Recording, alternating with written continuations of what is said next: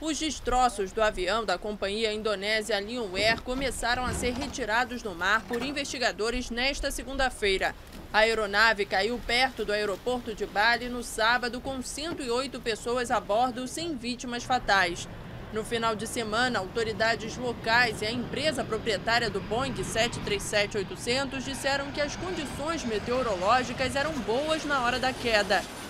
Mas o Ministério dos Transportes indonésio afirmou nesta segunda-feira que o avião estava viajando em uma densa nuvem no momento do acidente. Um passageiro contou que a aeronave estava envolta em uma chuva torrencial. O piloto e o copiloto passaram por exames que deram negativo para a presença de drogas ou álcool no sangue, segundo um porta-voz do Ministério. Mergulhadores recuperaram nesta segunda-feira as gravações de voz da cabine e outros objetos que podem ajudar na investigação.